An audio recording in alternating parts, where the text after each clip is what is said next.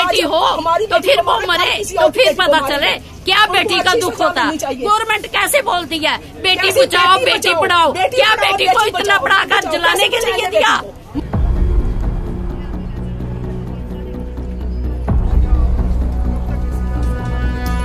तस्वीरें आप इस समय जो है वो सिद्धना से देख रहे हैं। यहाँ पर मैं आपको बता दूँ कि एक युवती की मौत के बाद मामला इतना गर्मा गया कि युवती के मायके वालों ने युवती के ससुराल में आकर वहाँ पर तोड़फोड़ शुरू कर दी। तस्वीरें आप देख सकते हैं कि इतने गुस्से में थे युवती के परिवार वाले कि उन्होंने ससुराल में आकर जितना भी सामान था, उसे तोड़ फोड़ दिया और कुछ सामान को जो है बीच सड़क में रखकर जो है वो जला दिया। पुलिस मौके पर पहुँची।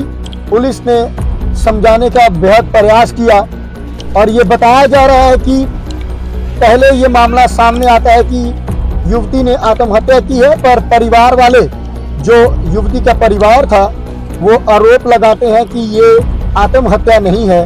हमारी बेटी की हत्या की गई है और लगातार ससुराल वाले जो हैं, ये दहेज की मांग करते थे। और दहेज को लेकर ये इससे पहले भी हमारी लड़की को जो है, वो प्रताड़ित करते थे। और ये तस्वीरें इस समय जो मैं आपको दिखा रहा हूँ, ये तस्वीरें सिद्धरा से आप देख रहे हैं। ਦੇਖੋ ਜੀ, ਇੱਕ ਵਾਰੀ ਪ੍ਰਤੀ ਹੈ, ਬੜੀ ਸ਼ਰਮ ਸਰਨਾਕ ਜਿਹੜੀ ਗੱਲ ਹੋਈ ਹੈ। ਇੱਕ ਕੁਜਵਾਣੀ ਦੀ ਨਿਵਾਸੀ, ਸਾਡੀ ਭੈਣ, ਪ੍ਰਤੀ ਇੱਕ ਵਾਰੀ ਦਰਿੰ- ਦਰਿੰਦਗੀ ਦਾ ਸ਼ਿਕਾਰ ਹੋਈ ਹੈ ਕਿ ਦਹੇਜ ਦੇ ਲਾਲਚੀਆਂ ਇੱਕ 6 ਮਹੀਨੇ ਦੇ ਮਾਸੂਮ ਬੱਚੇ ਦੀ ਮਾਤਾ ਦਾ ਕਤਲ ਹੋ ਜਾਂਦਾ ਹੈ। ਤੇ ਅੱਜ ਗੁੱਸਾ ਇਹ ਲੋਕਾਂ ਆਣੀਆਂ ਇੱਥੇ ਤੋੜ-ਫੋੜ ਕੀਤੀ ਹੈ, ਲੇਕਿਨ ਇਹ ਜਿਹੜਾ ਰੁੱਖੇ ਕਦੋਂ ਤੋਂ ਰੁਕਣਾ ਹੈ? ਕਦੋਂ ਸਾਡੀ ਬੱਚੀ ਨੂੰ ਇਨਸਾਫ ਮਿਲਣਾ ਹੈ? ਕਦੋਂ ਥੋੜੀ ਇਹ ਕੰਮ ਆਹੀਆਂ ਕਰਦੇ ਰਹਿਣਾ ਲੋਕਾਂ? ਬੱਚੀਆਂ ਪੈਦਾ ਕਰਨੀਆਂ ਹੁੰਦੇ ਵਿਆਹ ਹੋਣੇ ਬੇਟੀ ਪੜਾਓ ਬੇਟੀ ਬਚਾਓ ਤੇ ਉਹਦੇ ਬਾਅਦ ਜਾਈਏ ਸਸੁਰਾਲ ਵਾਲੇ ਉਸੇ ਮਾਰਦੇ ਰੰਗ। ਤੇ ਆਹ ਲੋਕਾਂ ਕਦੋਂ ਨਹੀਂ ਬਰਦਾਸ਼ਤ ਕਰਨਾ? ਅੱਜ ਲੋਕ ਸਾਰੇ ਲੋਕ ਪਰੇਸ਼ਾਨ। ਹੁਣ ਐਸਐਚਓ ਸਾਹਿਬ ਡੀਐਸਪੀ ਸਾਹਿਬ ਇੱਥੇ ਆਏ ਨੇ ਮੌਕੇ ਦੀ ਐਫਆਈਆਰ ਉਹਨਾਂ ਲਾਈ ਹੈ ਲੇਕਿਨ ਮੈਂ ਕਾਨੂੰਨ ਵੀ ਅੱਗੇ ਦਰਖਾਸਤ ਕਰਨਾ ਚਾਹਨਾ ਕਿ ਕਿਹਦਾ ਕਾਨੂੰਨ ਹੈ ਕਿ ਇੱਕ ਘਰ ਦਾ ਬੂਟਾ ਬਦਾ ਚਰੀ ਬੱਚਾ ਬੱਚੀ। 6 ਮਹੀਨੇ ਬੱਚੇ ਦਾ ਸਮੇਂ ਉਹ ਮਰੀ ਜਾਂਦੀ ਹੈ ਉਹ 2-4 ਸਾਲ ਬਾਅਦ ਉਸੇ ਉਸੇ ਪ੍ਰਤੀ ਬਾਅਦ ਤੇ ਬਰੀ ਮਿਲ ਜਾਣਾ। ਇਨਸਾਫ ਕਿੱਥੋਂ ਮਿਲਣਾ ਹੈ ਲੋਕਾਂ? ਨੂੰ ਇਹ ਸੁਣਾਓ ਕਿ ਉਸ ਬੱਚੀ ਦਾ ਬੇਟੀ ਪੜਾਓ ਬੇਟੀ ਬਚਾਓ ਤੇ ਹੈ ਲੇਕਿਨ ਜਿਹੜਾ ਬੇਟੀ ਹੈ ਕਰਨਾ ਇਹ ਨਹੀਂ ਗੱਲਾਂ ਹੁੰਦੀਆਂ ਮੇਰੇ ਖਿਆਲ ਇਹਦੇ ਵਿੱਚ ਕਾਨੂੰਨ ਦੀ ਜਿਹੜੀ ਹੈ ਕੋਈ ਨਾ ਕੋਈ ਕਮੀ ਰਹਿੰਦੀ ਹੈ ਤੇ ਉਹ 2-4 ਸਾਲ ਪ੍ਰਤੀ ਛੁੱਟ ਜਾਂਦੇ ਐਸੇ ਲੋਕਾਂ ਦੀ ਵਿੱਚ ਚੋਹਰਾਏ ਦਾ ਫਾਂਸੀ ਹੋਣੀ ਚਾਹੀਦੀ। ਇੰਤੇ ਲੋਕਾਂ ਸਾਹਮਣੇ ਕੋਈ ਦੂਈ ਵਾਰੀ ਕੋਈ ਵੀ ਜਿਹੜਾ ਸ਼ਖਸ ਹੈ ਉਹ ਬੱਚੀਆਂ ਪਰ ਹੱਥ ਚੁੱਕਣੇ ਦੀ ਜਾਂ ਐਸਾ ਕਦਮ ਚੁੱਕਣੇ ਕੋਲਾ 100 ਵਾਰ ਪਹਿਲਾਂ ਸੋਚਿਆ। ਹੈਪੀ ਜੀ ਕੀ ਲੱਗਦਾ ਕਦੋਂ ਤੱਕ ਸਾਡੀ ਬੇਟੀਆਂ ਜਿਹੜਾ ਇਹਨਾਂ ਨੇ ਘਰੇਲੂ ਹਿੰਸਾ ਦਾ ਸ਼ਿਕਾਰ ਹੋਣਾ ਪਊ? ਦੇਖੋ ਅੱਜ ਤੁਸੀਂ ਜਿਸ ਘਰ ਦਾ ਕੋਈ ਜੀਵ ਚਲੀ ਜਾਂਦਾ ਜਿਸ ਭੈਣ ਦਾ ਜਿਸ ਭਰਾ ਦੀ ਭੈਣ ਚਲੀ ਜਾਂਦੀ ਜਿਸ ਮਾਂ ਦੀ ਬੇਟੀ ਚਲੀ ਜਾਂਦੀ ਹੈ ਉਹਨੇ ਕੀ ਤੋਂ ਆਖੋ ਕਿ ਬਰਦਾਸ਼ਤ ਕਰੋ ਉਹ ਬਰਦਾਸ਼ਤ ਨਹੀਂ ਕਰ ਸਕਦੇ ਹਨ।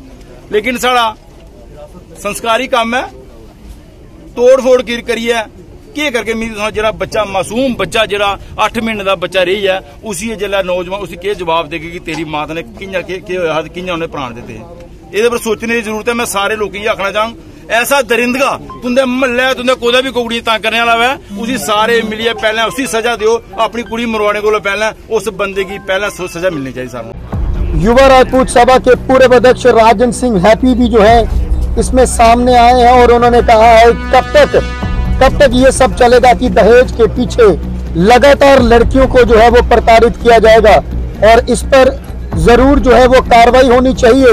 और अगर ऐसा है तो इन्हें जो है वो बीच सड़क में जो है वो फांसी होनी चाहिए।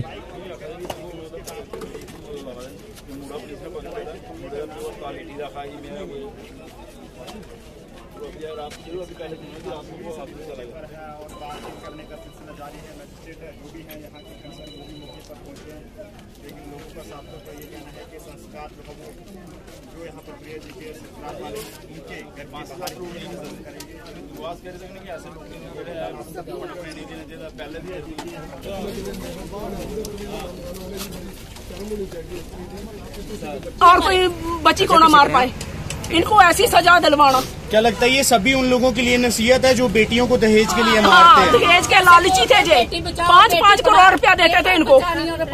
लेकिन फिर भी उसको मार दिया इन लोगों ने। आज उनको भी नसीहत मिली होगी जो दहेज मांगते हैं। वो डूना लेके बैठेंगे फिर पानी पियेंगे। भैया उनको कहा हमने नहीं छोड़ेंगे हम कुछ भी उनका कर दिया। अब इधर आए तो फिर उनको पता चले ना कैसे किसी की बेटी मारी जाती है। मारने के लिए हर बार है। बोलते थे। तारच करते थे दे पैसा ला दे ला दे दे कर जो दिया तो उसको मार दिया। बचाओ बेटी तो माता जी आप कब तक बैठे हमने रहोगे पढ़ाई नहीं हम बैठे रहे गए जब तक उसका पति नहीं आएगा ऐसा संस्कार नहीं होगा तो का हम बैठे रहेंगे की सजा